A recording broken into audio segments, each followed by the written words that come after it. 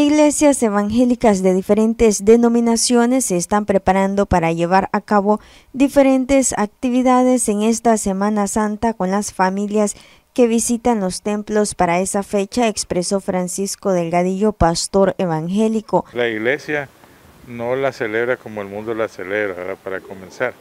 Nosotros lo que hacemos es ocupamos la Semana Santa, que muchos tenemos libre en los trabajos, para capacitaciones, talleres, para formación y para enseñar más sobre el reino del Señor Jesucristo aquí en la tierra. La gente generalmente lo que hace es ir a amar, ir a tomar y realmente no es santo lo que se hace, ¿verdad?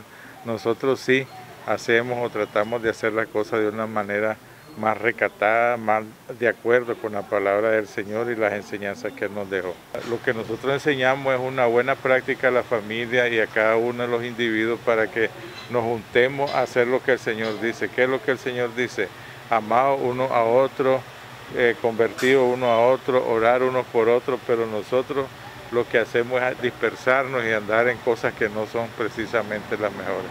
Agregó que en el país la Semana Santa en la actualidad Muchos la viven de diferentes maneras. Asimismo, brindó un mensaje para los que van a vacacionar a los diferentes lugares. De una manera recatada en la familia, en el hogar, leyendo la palabra de Dios, practicando las enseñanzas que están precisamente en la palabra de Dios y sobre todo siendo o practicando el amor fraternal unos con otros. Miren, número uno, que si van manejando no tomen, porque eso es fatal, ¿verdad?